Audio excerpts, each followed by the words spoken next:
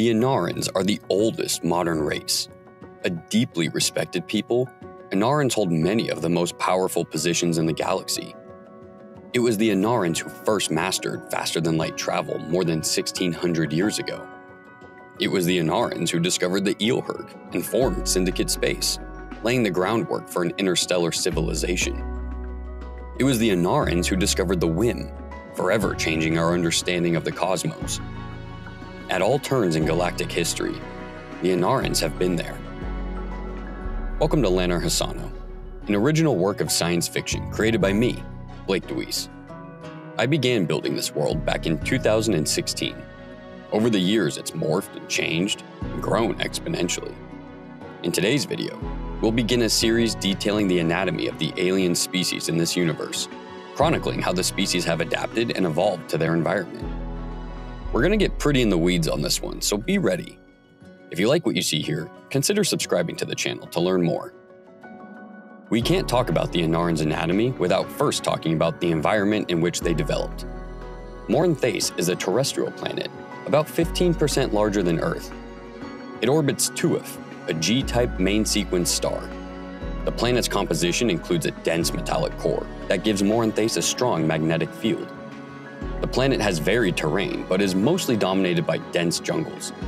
The atmosphere on Morn is 28% oxygen, this high concentration helps facilitate the dense vegetation of the planet. At a fundamental level, the Inaran's DNA structure is identical to humans. A double helix formed by base pairs, where adenine pairs with thymine and cytosine pairs with guanine. Environmental adaptations, though, have resulted in drastically different epigenetic modifications. Epigenetics refers to changes in gene expression that do not involve alterations to the underlying DNA sequence. In Inarans, this is the key to their remarkable adaptability. The diverse environment of their homeworld has necessitated a biological mechanism for rapid adaptations without the slow process of genetic mutations and natural selection. DNA methylation involves the addition of a methyl group to the DNA molecule, typically at the cytosine base in the CPG dinucleotide. This modification can change the activity of a DNA segment without changing the sequence. I told you, we're going to get really in the weeds on this one. All that means is that while the baseline genetic code of the Inarans is identical to humans, their environment has demanded a drastically different form of life. The Inaran skeleton is a remarkable feat of adaptation. Typically, one would expect a planet with stronger gravity to result in a being that is shorter than a typical human. But the Inarans are tall. This is a direct result of their unique anatomy. Inaran bones are made of an advanced hydroxyapatite, Hydroxyapatite is a form of calcium phosphate that composes human bones. This is why you're told to drink your milk as a child. On a microscopic level, hydroxyapatite forms a crystalline lattice structure. The arrangement of atoms within this lattice determines the material's physical properties, such as strength, flexibility, and density. Where Inaran bones differ is the addition of silicone. Ingested primarily through their diet, the Inaran body converts silicone into biosilica and adds it to their bone matrix. The addition of this element helps strengthen Inaran bones, enabling them to grow tall despite their planet's stronger gravity. The skeleton itself consists of 211 bones, with extra vertebrae, enabling enhanced flexibility and support. They have extra ribs to provide thoracic protection, and they have additional bones in their hands and feet to facilitate agility across their diverse landscape. Their skeletal structure also supports the Inaran's muscle composition. The Inaran body contains around 750 muscles, Compared to humans, Inarans have additional muscle groups in their core, legs, back, and feet to help them navigate Morn Thace. Inaran muscle fibers are made of proteins called tensilin and flexin. Tensilin makes up the core of the fiber. These are elongated, cylindrical cells that bundle together to form a muscle fiber. When activated by flexin, the tensilin cell rotates, contracting the muscle quickly and producing large amounts of force with more efficiency. As a result, Inarans can sprint faster, jump higher, and hit harder than many species. While their muscles are optimized for speed and strength, the Inaran's body consumes oxygen at an increased rate compared to humans. As such, they fatigue much faster and are prone to lactic acid buildup. While the increased concentration of oxygen in the Moranthene atmosphere helps mitigate this, it has certainly played a role in Inaran life off-world. Similarly, the Anaran body produces significant heat while under duress, making them prone to illnesses like heat stroke and hyperthermia.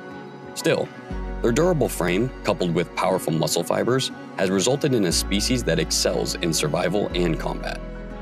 Inaran's skin serves the same primary functions as all other species protection from foreign material, insulation and temperature regulation, and sensory awareness.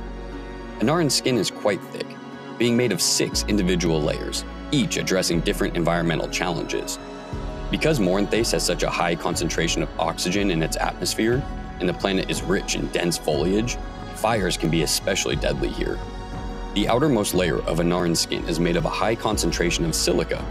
This provides additional protection against fire, while being flexible enough to move. Other layers include a carbon biofiber mesh that enhances durability, a hydrating gel layer that helps regulate body temperature, and a regenerative layer. Their skin is harder to the touch than humans, but still smooth. Like humans, Inaran skin is pigmented to help shield them from the ultraviolet rays emitted from their star.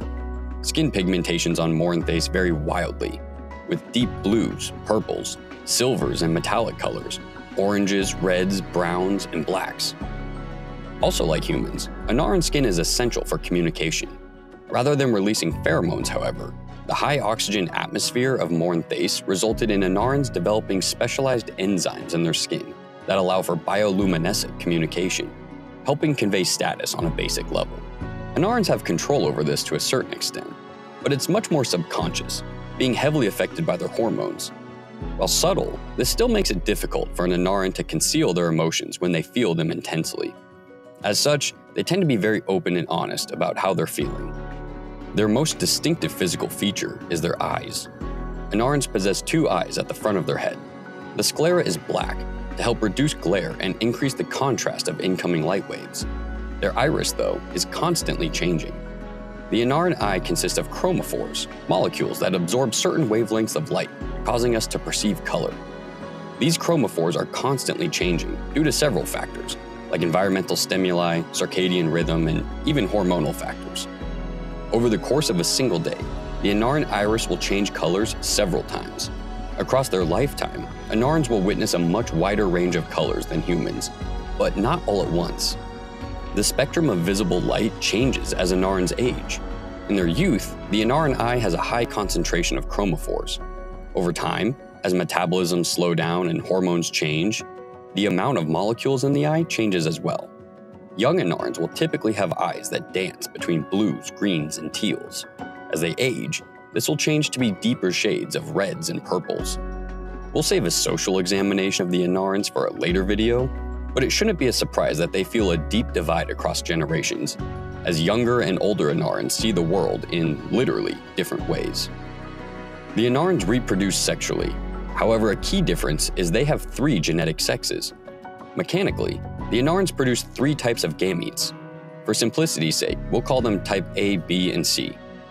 During conception, the type A and B gametes come together to form the initial zygote. A secondary fusion stage occurs as the type C gamete then infuses with the zygote, beginning embryonic development. The gestation period for Inarans is much longer, given the added complexity of incorporating three different gametes.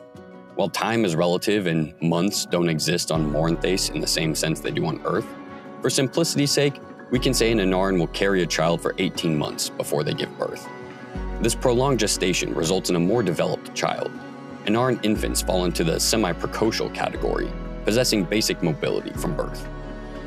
While systematically similar to humans, this tripaternal system of gestation fundamentally alters Inaran society. Their concept of a relationship typically includes three individuals. In later videos, we'll talk about how the disparate species of the galaxy have integrated with each other over time. Once born, an Inaran will go on to live an extensive life. Their typical lifespan is between 200 and 300 years. The higher concentration of oxygen in the Morinthene atmosphere created a larger number of reactive oxygen species. ROSs are not good for life. The buildup of them can damage DNA and contribute to disease. As a direct result, Inaran DNA evolved to include advanced antioxidative defenses and strong cellular repair modules. Combined with advances in their technology, the Inarans are among the longest living individuals in the galaxy. The Inarans are remarkable people that have contributed to interstellar society in numerous ways. In later videos, we'll examine Inaran cultures and traditions and how they've changed over time. There's a lot more to talk about, and we haven't even gotten to the other species yet. So subscribe to Lanar Hassano to learn more. Also, be sure to check out our other communities, linked in the description. Thanks for watching, and I hope to see you in the next one.